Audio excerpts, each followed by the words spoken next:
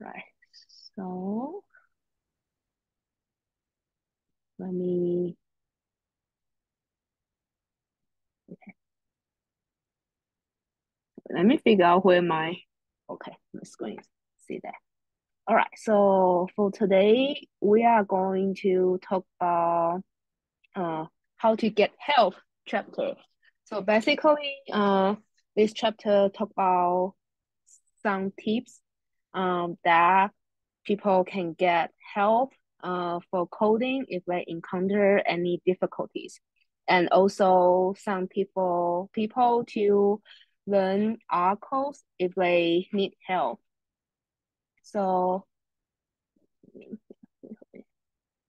right. So uh, over the time, like we see the R error messages, and sometimes you might not have any idea about what these error messages mean.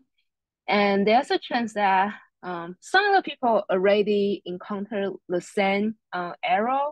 So they probably ask uh, the error messages um, on the internet in the past. So those questions could also be answered by people who know the solutions. So the first things that people uh, can do when they don't know what the error message mean is to Google those error messages. Typically, uh, if you put error messages plus R uh, to a Google query, uh, you could be you could find something like useful to solve your problems. Uh, but sometimes you may have to be more specific. For example, um, adding the name of packages in the Google query in order to narrow down the results. So here is the here is an example. Um, if someone encounter a difficulty um, of making a box plot, the first thing they may type is how to make box plot in R, but uh, if the person can be more specific, they can type how to make box plot in R and ggplot2. So the second um, keywords uh, should be uh, more useful and efficient in order to find the solutions for that person's uh, difficulty or problems. And uh, I don't know if this is if this is uh, frequent or not. So if the error messages is not in English, um, you can type this set environment language to English to change the uh, language into English and then restart the session and then rerun the code in order to get the error message in English. If Google doesn't help or if you cannot find solutions from Google, um, you can also try to find the answers in the Stack Overflow. And I think when you Google your error or your question, Stack Overflow uh, also pop out in the searching um, in the searching contents. So Stack Overflow is also another place to go to if it doesn't show up in Google to find the answers. And the same thing, uh, when you try to find the solution in the Stack Overflow, you type the error message and R, and to be more specific, adding the package name in your searching. All right. So I think for this chapter, uh, you want to introduce a page package called reprex which is uh, shortened from the minimum reproducible example. So a good rep reprex uh, make people uh, easy to understand what's going on uh, in the code, what is the data, what is the basic code in the code. So under this uh, situation, in this case, sometimes uh, if you make your code into a short or minimal reproducer reproducible example, sometimes you can kind of figure out what's going on actually in your code and help yourself. So in order to make this minimal reproducible example, the first thing is you have to include uh, the library or any package you use in the code. So try to capture everything uh, which is relevant to the code or error or the missions you try to do. And then make your code minimal. So again, um, since it's code minimal, so you don't want to include any unrelevant information in your code. So remove everything that is not directly related to your problem. And in that way, this section of code could be um, much smaller than much smaller and simpler uh, object than what you're facing in the real life. And sometimes people's data are pretty uh, complicated. So if possible, uh, try to use like built-in data or just a subset of data in your code. So in that way, if you want someone to help you, that person can just grab the minimum or yeah, the minimum um, reproducible example or the minimum uh, data to try to reproduce the example and then help you figure out what could be uh, the error, what uh, how the error could happen and try to help you figure out the solutions. So as I mentioned earlier, um, when people are creating a minimal reproducible example, um, they sometimes can figure out uh, what could be wrong hiding in your code and then they can just answer their own questions. So people can also capture the importance of um, their problem in a way that is easy for others to play with. So giving other people and simpler and shorter or smaller code actually increase the chance that uh, people get help from others who might know the solutions. Okay, so here the easier way to avoid the mistake of accidentally miss something problem uh, when creating reprex is to um, use the packages called reprex.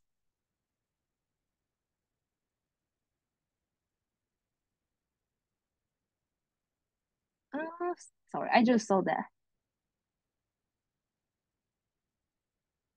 Oh yeah, so beside Google, AI is also the options to find the solutions if the code doesn't work.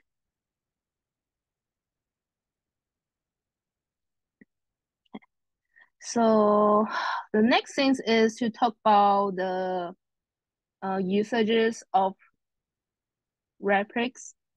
Oh, well, it's actually not. The next thing is going to be a little bit that's about how to make examples uh, reproducible. So again, uh, your code has to include the package or library you use and the data and the simpler versions of your code. And sometimes the error happens uh, when using the older versions of packages. So the first things people can check is to check the version of packages. So the following here is the uh, example of checking the version of tidyverse packages by typing this function uh, like in a command or in the screen and run this line. And I think you can also uh, run the function called package version and then type the specific uh, package in the environment to figure out the version of package. Or you can just go to the panel. Uh, well, for me, I like to set the panel on the the package like a plot panel on the bottom right side. So if you go to the packages uh, tab and type whatever package you are using, you can also see the version of packages you have in your computer. Oh, sorry. So, okay. So here is just an example of using uh, the reprex packages.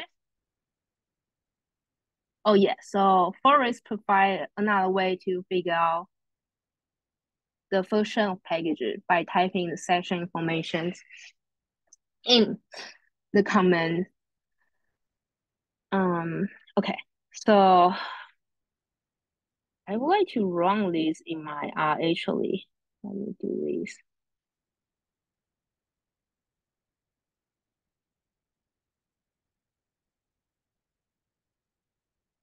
Let me share my other screen.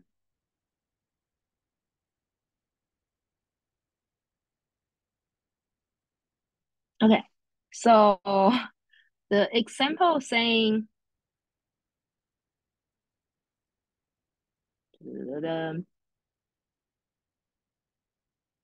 okay, so the example is um these um I don't know how to actually say that, but it's like a mtcars is like a database about cars. So if you want to show this database to someone on the internet, for example, like Stack Overflow, um, you can use a reprex to find a better uh, or easier or simple version um, to pass them on the Stack Overflow.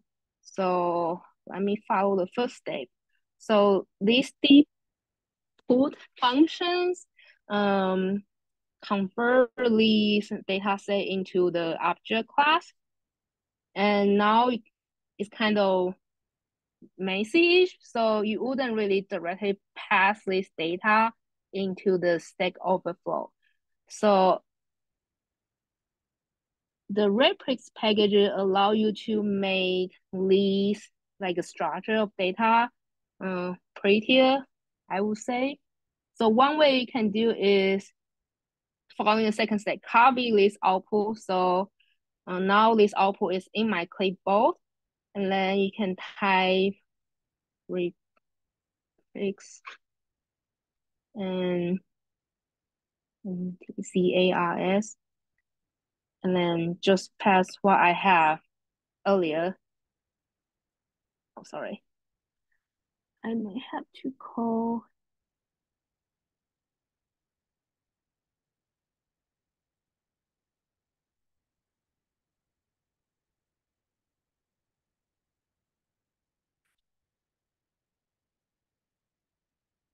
I should have I should have this one. This. I may have typo. All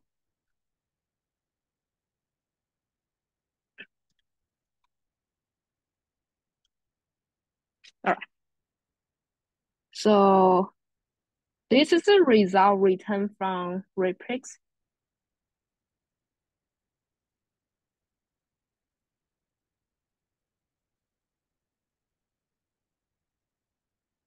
So if you have a questions or if you want to show someone on the internet about this data set, you can just copy these provide from reprex on the internet. And the other way, uh, I believe there should be several different ways to get this reproducible example. The other way you can try to do is, uh, okay, so now I have, let me just clean this. I actually have uh, this data in my script and I name mtcars. Actually, it's my cards. I don't know how to say it, but anyway. So now I have this original kind of messy type of data in my script. So one way you can do is you go to add in and then uh, render reprex. So in the repeat function, there are several arguments I didn't say earlier, which I think they should be related to like these um, arguments or selections. So here I have what I want to show to other people in my selection. So I can click current selections and I can select where uh, is my audience, what are my, uh, which one is my target. And then let's say I want to post this on the Stack Overflow. So I just random. Well, it doesn't really look nice as nice as the previous one, but the reprex uh, render reprex uh, from the add-ins is also another option to do.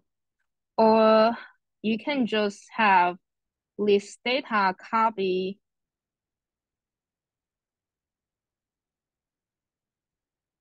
and then render reprex again, but now because I already have a data copy, so data is on the clickable, so I can just random it.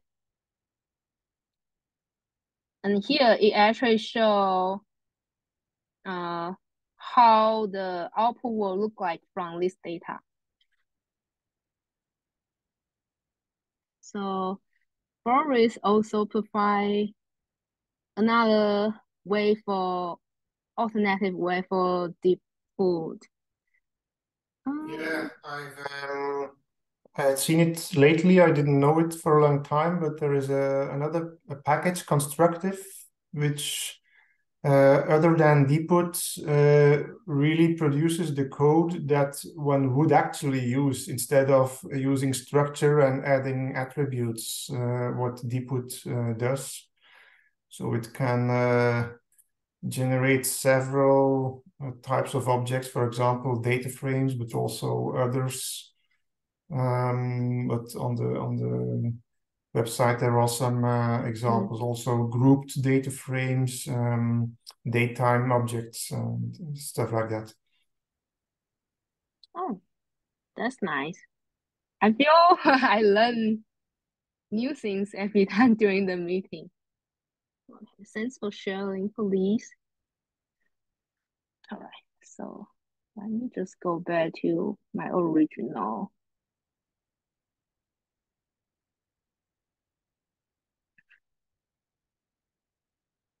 uh, slide. All right. So here, uh, after you have like outcome or result from uh, reprex, just spend a little bit uh, time to make sure the code is easy for others to read. So again, it's kind of like a writing, like before you submit your writing or like your email to other people, you do your proofreading. So it's sensing for coding. Um, make sure there's a like a no typo or like uh, space or variable names are uh, confusing to others. So your names and space should be uh, concise and informative. And if possible, use a comment to indicate where your problems uh, is so people can uh, people can kind of like a target where actually cause the error and again increase the chance that other helping you um, get the solutions for your problems. And do your best to remove everything which is not relevant to the problem because the shorter the code is, the easier to get help and easier to understand uh, what is wrong in the code. So here is just kind of like sensing, but uh, address the importance of um, making your sam- example as small as possible. So try to use a smaller subset of your data, but still re- relate to the problem. And then finish by checking uh, you have made your examples reproducible by like ending and starting a new sessions and then copy and paste your script and just run again, see if you can get the same error you have earlier. So this actually spend time uh, practicing. I mean, yeah, it will take some time to practice and learn how to make good small uh, reproducible examples. However, learning to ask questions, including code, and spending time to make the code reproducible will eventually pay off as like we are learning now R. So making this ever will help people learn R. And here it's just like um spending time preparing um ourselves so to solve problems before um the problem happen by spending time in learning R each day will pay off uh, in the long run. So short-term goal is learning uh, like a little piece of R information every day, but in the long term, you will be you will find out you actually learn a lot just by like every single day small exercise. So here providing some like um website blog you can check out to get like new information. So Tidyverse blog provide uh new information on what the Tidyverse team is doing, and R Weekly also um provide the updates of R. So that's all for today.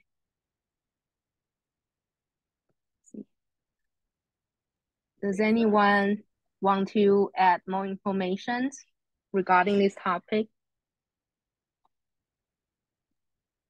That was a great summary. I've definitely been burned by the uh, Stack Overflow community a few times when I first started using it.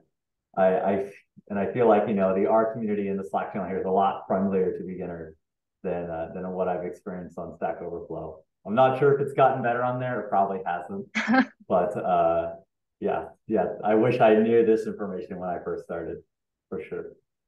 Yeah, it was also my first time to know I can prepare the call in this way. Yeah, I never knew about those add-ins. That was pretty cool. Um, yeah. Those are pretty neat features. And, and thank you, Flores, for sending that constructive package as well. As far as uh, ChatGPT or any of the um, kind of uh, transformer-based uh, machine learning stuff, I've noticed it's annoyingly iterative to the point where it's like I could have solved this faster if I just thought about it and uh, reprogram it myself. Uh, sometimes, anyway. I'm not sure uh, if anyone else has had any other experience around that. I do use ChatGPT to solve the coding problem, but sometimes it is not precise at all. So you still need people to check whether ChatGPT makes sense or not. It is great for color palettes, though. I'm like, oh, I need four different stratified color colorblind uh, friendly color palettes, and it'll give me the like um, text code for it. And I'm like, oh, this is great. It saves me a lot of time looking for it. So. No, in my case, it's that uh, I, I have a background in C programming. So sometimes, for example, I, I, I know something and I see um, I can do it in C with a for loop. And I say, okay, this is what I know. This is how I would do it. But how is it in in and, and, in R? R sometimes I don't even even have a clue. So then I say, okay, this is what I want to do. And it will give me some code that may not execute um, correctly, but at least it gives me some things that I can either iterate with with uh, um, with ChatGPT or, or or one of the others, or it will give me some indication as okay, um, it is using this uh, this type of uh, functions of these names of functions, and then I can go search for myself about those functions. And and and I sometimes with leaflet, I, I remember it gave me something with leaflet that wasn't uh, okay, but then I found a tutorial with leaflet and then uh, I, I, I ended with it. And when I had some code that was more or less working, I came back to him and tell, told him, her, whatever, and told him to um, add features or add colors or add something. But that was using a base that was already working. So in my case, it has been uh, helpful for that kind of uh, work. That's Thank you for sharing. Example. Yeah, I'm learning. Uh, I'm learning. I'm using. I'm doing Advent of Code this year, and uh, I'm learning Rust through that process.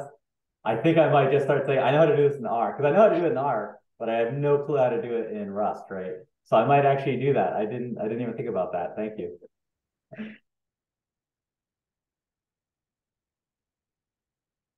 All right. Did you do? Did you see the one of uh, the Hanukkah data?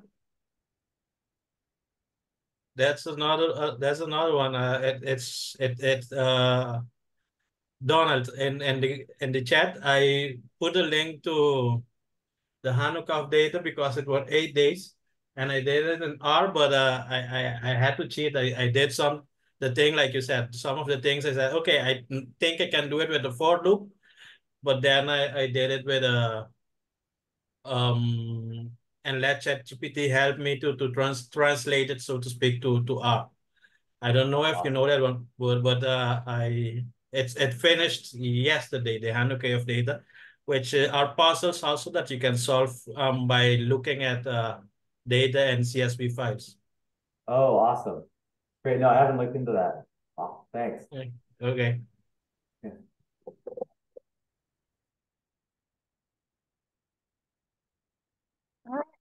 So if uh, no one else wants to share some extra information or their experiences, I guess I'm gonna call for it today.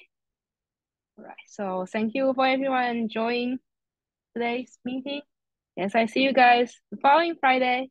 Uh, happy early, no, Merry early Christmas. Same to you.